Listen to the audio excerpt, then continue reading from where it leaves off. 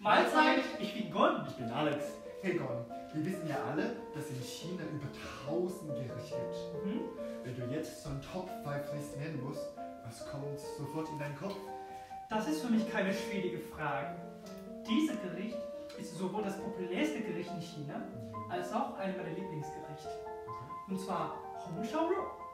Auf Deutsch geschmortes Schweinefleisch. Ach so, das esse ich auch sehr gerne. Dann koch schnell, zeig mal, wie man das macht. Okay, dann los geht's. So, wir fangen gleich mit dem Lauchzwiebel an.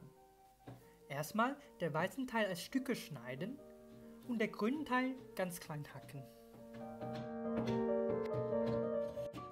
Und dann drei Scheiben Ingwer brauchen wir noch. Dann tun wir die Schweinebauch in die Pfanne hinein und kaltes Wasser reingießen. Dazu noch die Lauchstücke und Ingwerscheibe.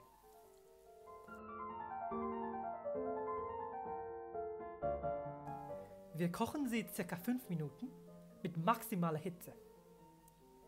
Danach tun wir sie sofort in kaltes Wasser hinein, damit die Form vom Fleisch bleibt nachher immer schön. Nach ca. 30 Sekunden nehmen wir sie aus dem Wasser, abtrocknen und als Würfel schneiden.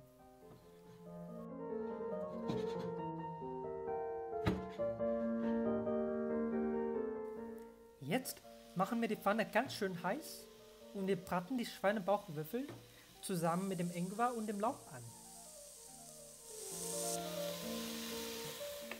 Achtung, hier brauchen wir kein extra Öl. Der Schweinebauch gibt selber schon genügend Öl. Wir wollen ja dieses Fett klug benutzen. Genau. Wir braten sie bis zum Goldbraun. Dann fügen wir 5 Löffel Sojasauce,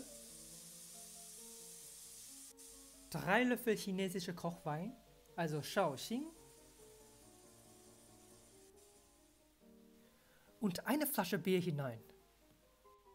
Aha, mit Bier statt Wasser macht der Geruch des Gerichts ganz besonders. Ist eine gute Idee.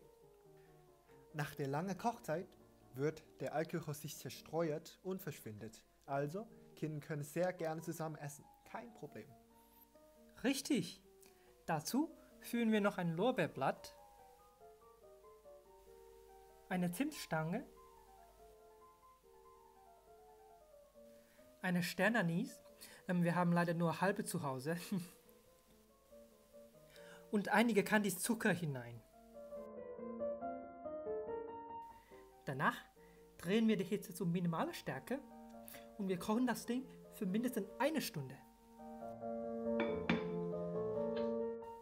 Nach halbe Stunde habe ich ein paar Wachteleier reingetan. Das ist aber keine Pflicht. Ich wollte nur probieren, ob sie damit gut passt.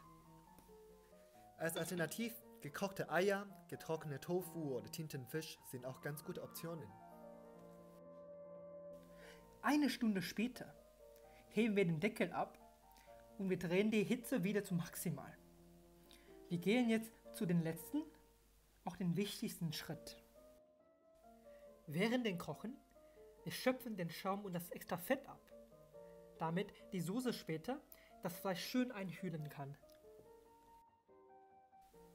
Dann fügen wir drei Teelöffel Zucker,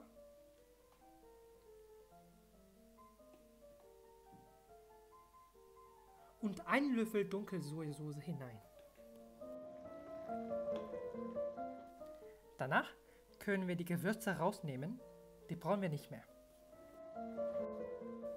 Wir kochen dann die Soße weiter, bis sie klebrig ist. Och, ich liebe diese Glu-Glu-Klang während Kochen. Ja, ne? So schön wie ein Musikinstrument. Deshalb sage ich auch immer, das Kochen ist auf jeden Fall eine Art von Kunst.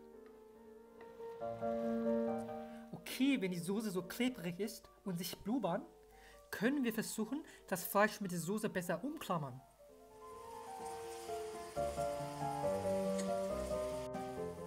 Dann können wir das Fleisch auf dem Teller schön stehlen.